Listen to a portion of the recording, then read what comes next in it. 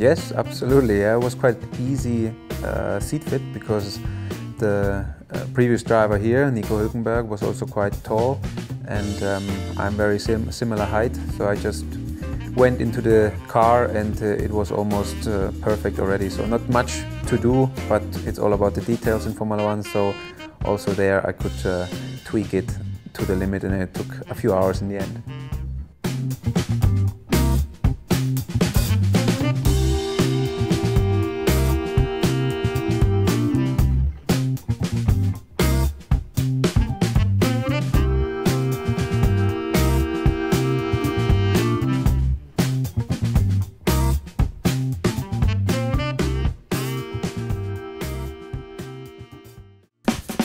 The seat fit is one of the most important things, especially you, you have time in, before the, the season and during the season you don't have too much time to assess if the seat is not, not as, as you would like it.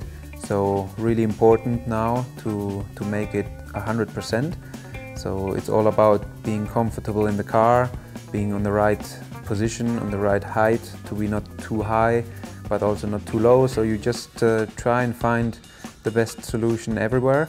Um, seat belts, seating position, the pedal area, everything needs to be perfectly adjusted for the first test so you can, can push straight away and you can have or you can, can be straight away in the comfort zone which is very important to, to perform on the circuit.